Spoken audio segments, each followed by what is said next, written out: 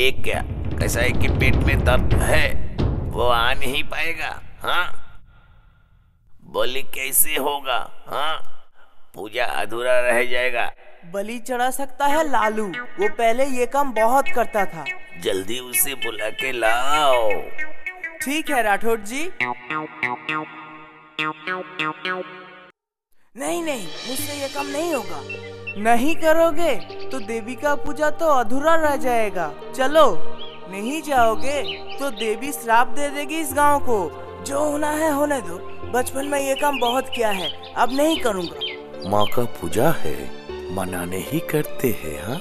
जाओ बेटा जाओ नहीं तो पूजा अधूरा रह जाएगा। ठीक है आपकी बात ही मान लेता हूँ। अपने पिता के आदेश को मना ना करते हुए लालू चला गया राठौर के घर बलि चढ़ाने के लिए। जय माँ जय माँ काली। जय माँ जय माँ जय माँ जय माँ काली जय माँ जय माँ जय माँ। मुझे खून चाहिए खून। मुझे और बलि देना है बकरी लाओ। और बकरे नहीं है बेटा दो ही बलि चढ़ती है। बकरी नहीं है? मैं नहीं मानूँगा। मेरे सर पे खून सवार है। बकरी लाओ बकरी बनना मेरे सामने जो आएगा उसे मैं नर बलि चढ़ा दूँगा। माँ माँ जय माँ काली। क्या हो गया? समझ में नहीं आ रहा आप लोगों को मारने आ रहा है हाँ, राठौर और पुरोहित कहाँ है? बुलाओ बुलाओ। भागो भागो बचाओ बचाओ। चलो अब मैं तुम्हारा बलि दूँगा। लालू बच्चे शांत हो जा। शांत हो के देख मैं इंसान हूँ बकरी नहीं हूँ। वो सब मैं कुछ नहीं जानता। माँ की आदेश है। चलो अब मैं तुम्हारी बलि चढ़ाऊँगा। चलो चलो। नहीं बेटा ये माँ की आदेश नहीं हो सकती है। माँ तो जगत जननी है। माँ माँ किसे कहते हैं, जानते हो तुम? दोबारा मुझे बुलाओगे बकरी बलि चढ़ाने के लिए? दोबारा मुझे बुलाओगे? नहीं बेटा, कभी नहीं बुलाऊँगा, कभी नहीं। मैं आज माता रानी के सामने कसम खाता हूँ। आज से बलि कभी नहीं चराऊँगा। ठीक है। हाथ जोड़ के कहता हूँ बेटा। कभी नहीं कभी नहीं। अच्छा ठीक है। तुम्हें छोड़ दिया मगर पुजारी को बुलाओ। पुजारी कहाँ है? बुलाओ बुलाओ पुजारी को। हम हम लोगों को मरेगा भागो भागो भागो भागो भागो। शैतान लड़के मुझसे मज़ाक कर रहा था हाँ? तुझे मैं चलूँगा नहीं। मेरे माता रानी के सामने प्रतिज्ञा करता हूँ। कल सुबह जाके उसके पिता के पास बोलूँगा और मार खिलाऊँगा, नहीं तो मेरा नाम राठौर नहीं। लेकिन राठौर लालू को मार नहीं खिला पाया, क्योंकि वो सुबह सुबह उठ के न जाने कहाँ चला गया था। सात आठ दिन उसका अता पता नहीं चला। लेकिन एक दिन राठौर के घर गया शाम को और माफ़ी मांगा और अपने घर वापिस गया और उसके पिता सारी नाराज़गी भूल कर उसे अपने घर में बिठा लिए। और उस दिन से राठौर के घर बलि चढ़ना बंद हो गया।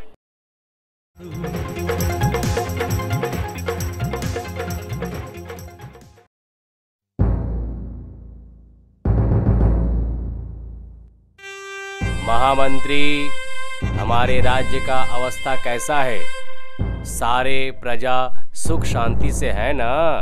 आप एकदम निश्चिंत रहे महाराज। आपके प्रजा आपके आशीर्वाद से सुख और शांति से अपना जीवन व्यतीत कर रहे हैं। इसलिए राज्य के सारे प्रजा आपके नाम के जय जयकार कर रहे हैं। मैं भी यही मानता हूँ। मेरी तरह न्याय विचार करने वाला राजा इस पृथ्वी पे और कोई नहीं है। कोई नहीं है। क्या गोपाल, तुम्हारा क्या राय है? मैं अगर साबित कर दूँ कि पृथ्वी पर आप अकेले नहीं हैं न्याय विचार करने के लिए, और भी न्याय विचारक हैं, विभिन्न राज्यों में विभिन्न प्रकार के अलग अलग न्याय विचारक हैं। हम्म। तो ठीक है। अगर तुम साबित कर सकोगे तो मैं तुम्हें अपने 500 एकड़ ज़मीन मैं तुम्हें उपहार में दे दूँगा गोपाल। ठीक है महाराज।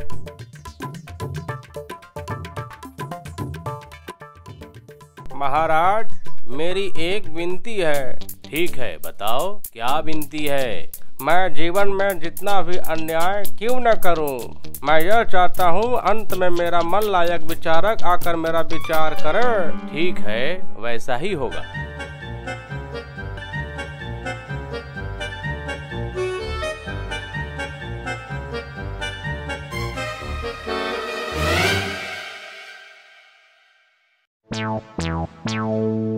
देख रहे हैं कवि रत्न पेड़ में कितने सुंदर आम हुए हैं। रुकिए, एक पत्थर मारकर दो चार तोड़ता हूँ।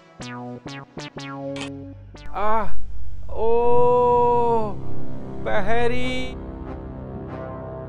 आदेश महाराज, जल्दी वैद्य को बुलाओ। पता लगाओ, और यह पत्थर किसने मारा है? और उसे बंदी बनाकर राजसभा में लाओ। जय श्री आज्ञा महाराज।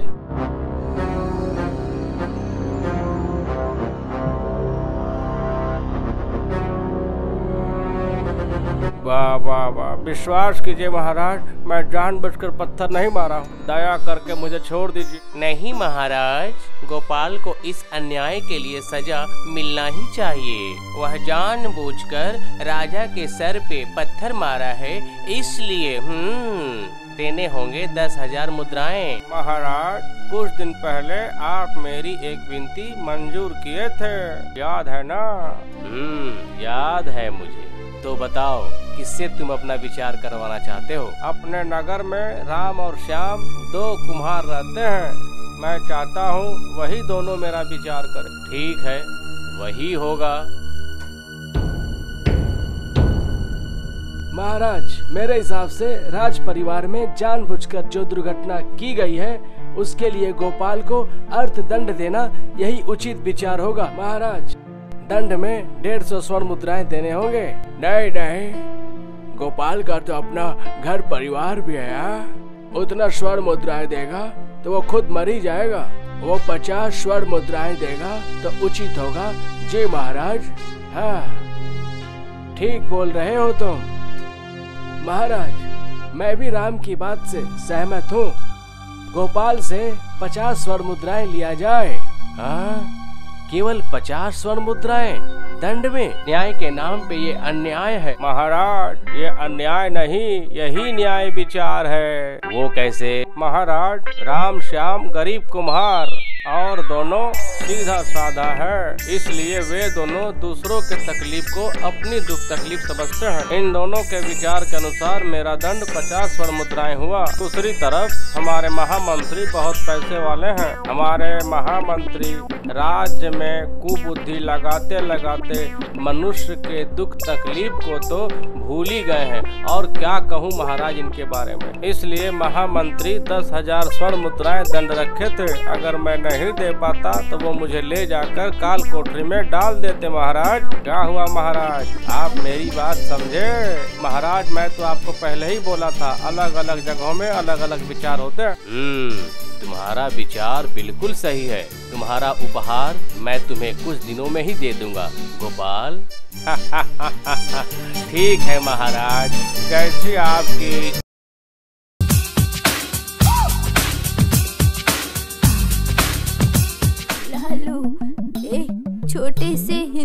स्कूल में पढ़ता था।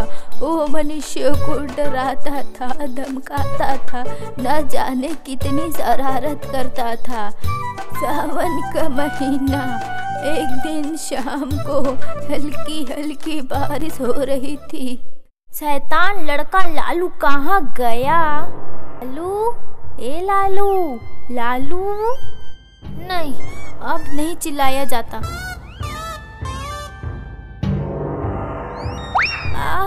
कोई है, कहाँ है? आओ, जल्दी आओ, मुझे सांप ने काट लिया। और रबड़ की सांप थी, असली नहीं। शैतान लड़का, तुझे पकड़ूँगी तो बताऊँगी, रुक।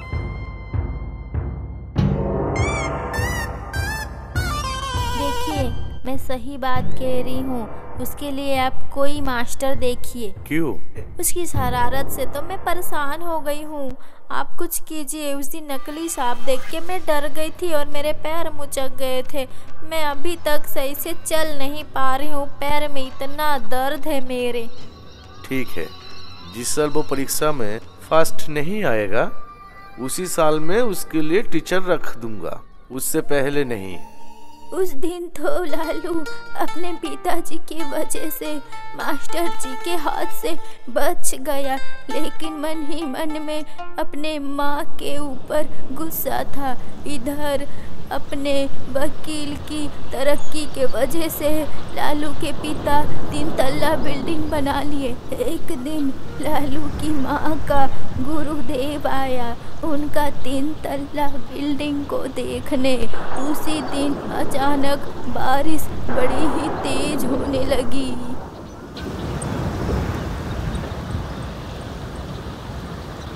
बेटी नंदिनी कहाँ हो? हाँ बेटी। अरे गुरुदेव। हाँ हाँ आइए आइए मेरी सौभाग्य है। आप आइए आइए अंदर आइए।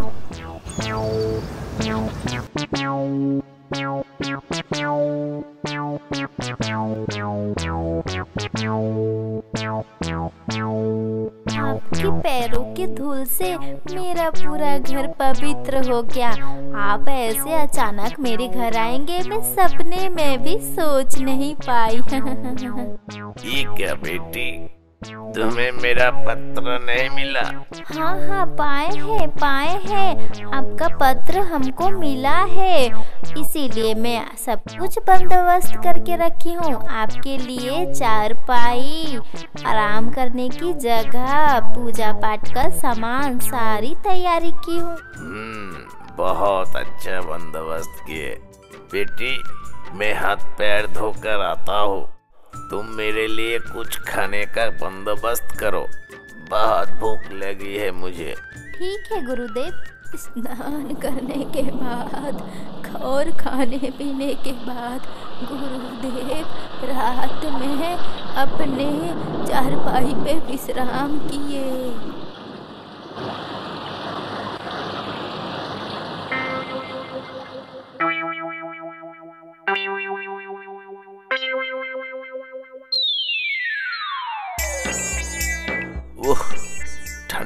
ठंडा पानी कहाँ से चू रहा है?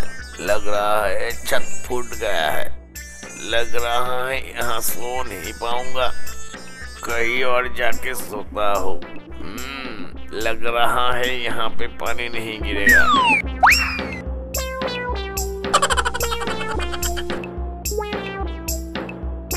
हो रहा वहाँ एक टेबल है। वहीं पे जाके सो जाता हूँ। रात वही बिताता हूँ।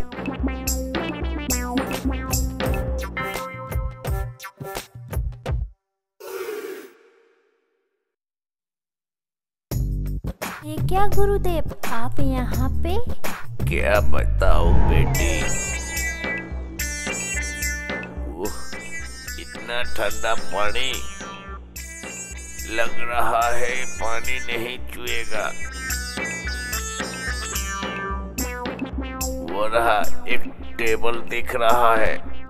यही भी सो जाता हूँ आज की रात। लेकिन उस घर के ऊपर तो और दो दो तल्ले हैं। लेकिन उसके ऊपर तो बारिश का बूंद नहीं आया। तो फिर? देखो देखो, अपने लाडले बेटे की हरकत देखो। छी छी छी छी छी। मुझे तो शर्म के मारे मिट्टी में मिल जाने का मन कर रहा है। छी छी छी छी ऐसा लड़का छी। नंदू उसे बुलाने गया है। आने दो उसको। बहुत देर खोजने के बाद लालू का पता चला। वो अपने मौसी के घर पे मिला था। वो पंद्रह दिन तक अपने मौसी के घर पे ही रहा और उधर गुरुदेव भी वहाँ पे पंद्रह दिन अपनी सेवा जतन कराए और जाने से पहले लालू को माफ़ कर दिए।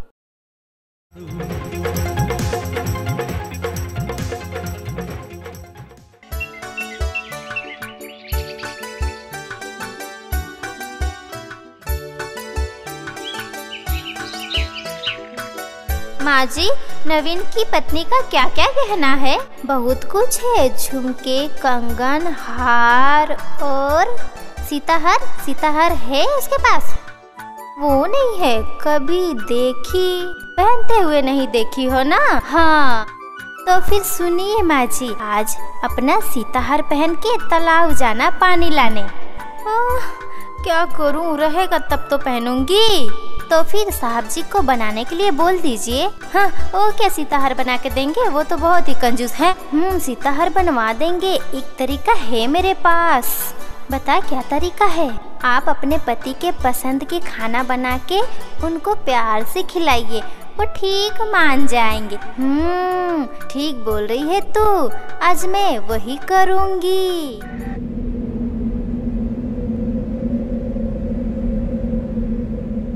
स्वामी बहुत ही दिन से मुझे मांस खाने का मन कर रहा है। क्या करूँ? बताइए जरा। पार्वती और क्या करोगी? धरती पर तुम्हारे अनेकों भक्त हैं जिस किसी को सपना दिखाओ और हासिल करो। प्रत्येक मनुष्य को स्वप्न दिखा के मांगना अच्छा नहीं लग रहा है इसीलिए मैं सोच रही हूँ डर दिखा के मांगू। हम्म डकैती। हाँ क्या बोले हैं आप? नहीं बोल रहा हूँ क्या डर दिखाओगी? रोग भय मृत्यु भय। हम्म जो तुम्हारी इच्छा लेकिन तुम किसको डर दिखाओगी? हम्म? दिव्य दृष्टि में वही तो ढूंढ रही हूँ मैं।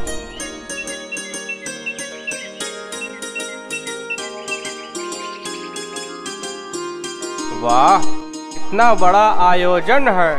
चावल दाल भुजिया खीर आलू दम ठीक है ठीक है बहुत हो गया खाने बैठी। अच्छा अच्छा बैठता हूँ बैठता हूँ।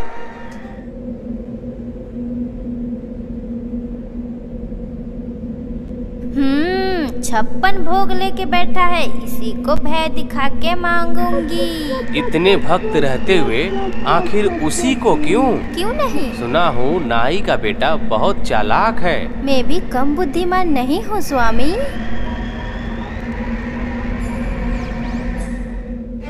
वाह वाह कितना स्वाद है। एक बात बताओ लक्ष्मी। नहीं कुछ नहीं। हम्म बोलो ना लेकिन किंतु क्या लगा रखी हो? नहीं ओ मैं बोल रही थी ना मतलब ओ मतलब मतलब? मुझे ना एक सीताहार चाहिए। क्या?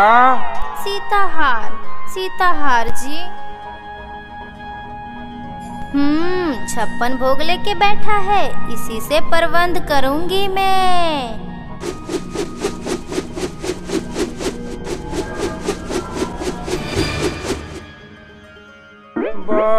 बाप रे बाप मेरे पेट में कितना दर्द हो रहा है।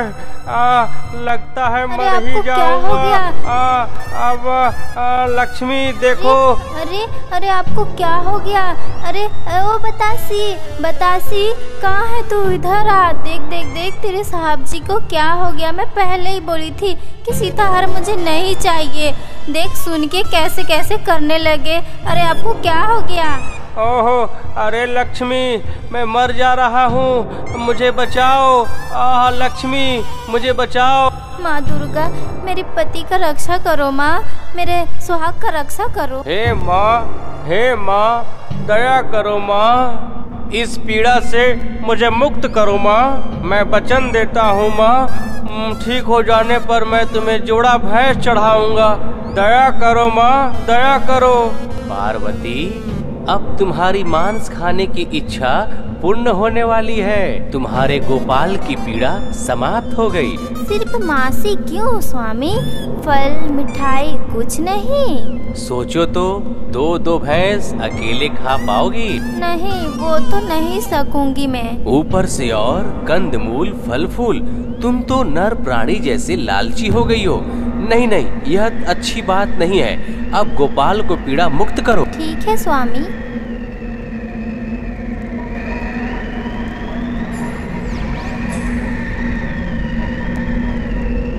हे माँ दया करो माँ। इस पीड़ा को नहीं सह पा रहा हूँ माँ। कृपा करो माँ दया करो माँ। ओ माँ माँ इस अरे लक्ष्मी, कहा हो? देखो, मेरे पेट का दर्द गायब हो गया। सुनती हो? अरे लक्ष्मी, कहा हो? मुझे खाने को दो, मुझे भूख लगी है। लक्ष्मी, तुम कहाँ हो? हम्म। नहीं नहीं, आज आपको कुछ नहीं खाना होगा, चुपचाप सोइए। ओह जो बोलता हूँ वही करो। मुझे बहुत भूख लगी है मुझे खाने को दो नहीं तो मैं तुम्हारी वह बात नहीं सुनूँगा। ठीक है ठीक है दे रही हूँ दे रही हूँ खाने के लिए। आइए आइए मेरे साथ आइए।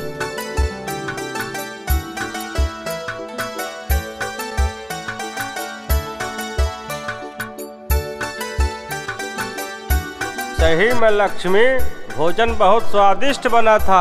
हम्म, और क्या बोल रही थी? बोलो तो जरा। बोल रही हूँ कि मुझे एक सीताहार बना दीजिएगा। ओह तो यही बात है। लेकिन मेरी भी एक शर्त है। हम्म। कैसा शर्त? तो आज रात में गरम गरम पूरी और पनीर की सब्ज़ी खिलाओगी तो? क्यों नहीं खिलाऊँगी? ज़रूर खिलाऊँगी। कैसा बना है, बताए नहीं तो। सुंदर, अति सुंदर है।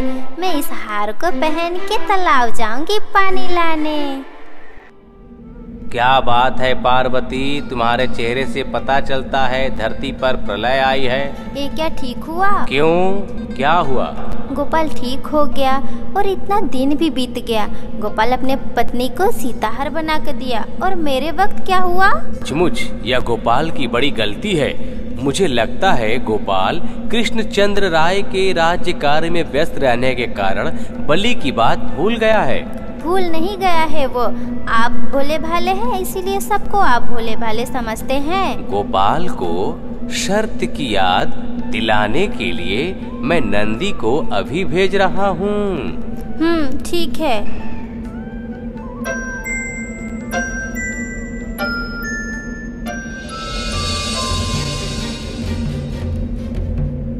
गोपाल ओ गोपाल ओ गोपाल।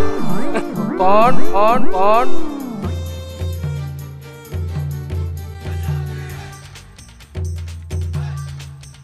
हाँ? अरे बतासी अरे नकुल कहाँ हो तुम लोग? कहाँ हो? चुप चुप एकदम। बच्चा ये कौन है ये? सुनो मैं नंदी हूँ कैलाशपति महेश्वर के पास से आ रहा हूँ। देवाधिदेव महादेव के शिष्य हैं आप। प्रणाम। ए लक्ष्मी तुम भी प्रणाम करो। हाँ हाँ प्रणाम नंदी जी। पेट दर्द के समय जो प्रतिज्ञा किया था वह भूल गया है क्या? वही बात याद दिलाने के लिए महादेव तुम्हारे पास भेजे हैं। कौन बात बताए तो? यही बात जो तुम बोले थे पेट दर्द ठीक होने पर जोड़ा भैंस बलि दोगे। ओ या हाँ हाँ याद आया याद आया।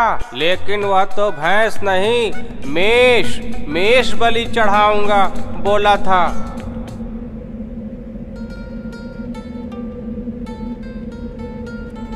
नहीं नहीं यह कैसे हो सकता है? मैं स्पष्ट अपने कान से सुना था। ठीक है ठीक है।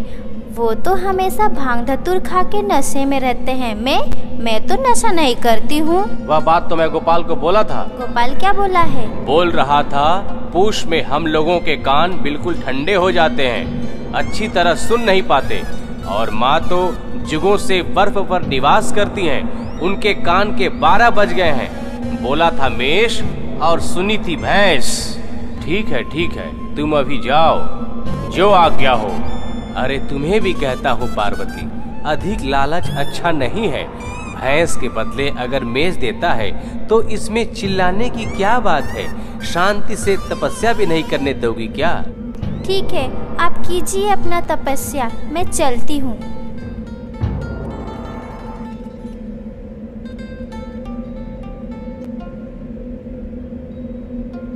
प्रणाम माँ। भृंगी क्या बात है?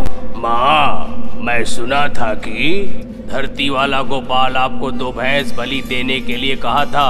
कब तक देगा माँ? मैं भी थोड़ा प्रसाद पा जाता माँ और क्या? बेटा भिंगी वो भैंस नहीं मेष था। अरे मेज भैंस जो भी हो कब देगा? पता नहीं समय नहीं बताया। तो जाकर मैं सही समय पता करूँ माँ। जाना है तो जाओ मगर ध्यान रखना महादेव को पता ना चले। आप बिल्कुल निश्चिंत रहिए मैं बाबा को अभी अभी एक चिलम भर कर दे आया। समाप्त होने के पहले ही मैं खबर लेकर वापस आ जाऊँगा।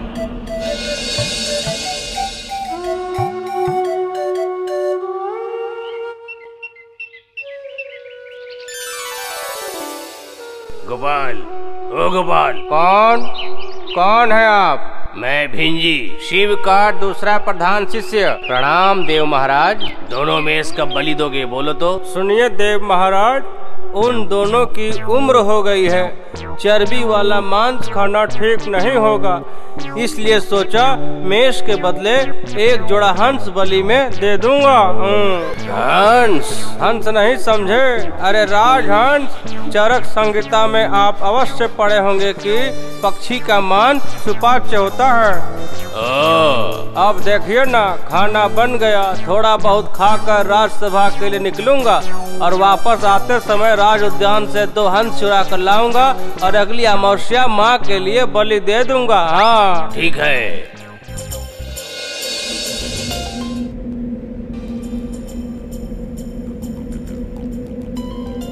एक क्या भृंगी कृष्णचंद्र का हंस चुरा के मेरे लिए बलि देगा। हाँ माँ यही तो कहा। इन चोरी करना महापाप है भृंगी और ये पाप मुझे भी लगेगा। नहीं नहीं नहीं मुझे रोकना पड़ेगा गोपाल को। मैं अभी जाऊँगी अभी जाऊँगी पृथ्वी पर।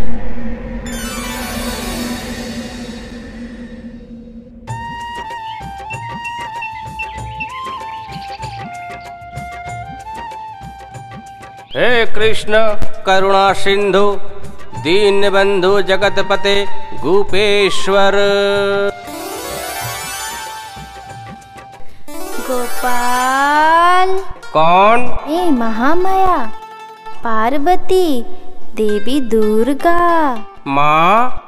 माँ। आपके चरणों में इस गोपाल का कोटि कोटि प्रणाम। गोपाल तू कृष्ण चंद्र के हंस चुरा के मेरे लिए बलि देने वाला था। तू जानता है ना चोरी करना महापाप है। हाँ माँ भृंगी जी को बलि की बात बताते समय हमें भी यह बात याद आई थी। इसलिए मैं ठीक किया हूँ चोरी करके नहीं क्षमता के अनुसार जो भी होगा आपको ज़रूर उत्सर्ग करूँगा। तो क्या दोगे? रोहू मछली। बरसात के समय पोखरे में चारा छोड़ा था। इस वर्ष बहुत बड़ी बड़ी हुई हैं। खा कर देखा हूँ बहुत स्वादिष्ट है। हंस से रोहू मछली? यही क्षमता है माँ नहीं तो हंस चो, चो, चो, चोरी कर नहीं नहीं नहीं तू मुझे रोहू मछली ही देना चोरी मत करना। रोहू मछली दूँगा और न घोड़े का अंडा। का